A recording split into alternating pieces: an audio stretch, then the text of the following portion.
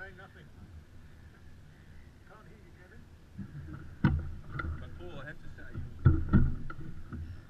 the last time you called it, you were.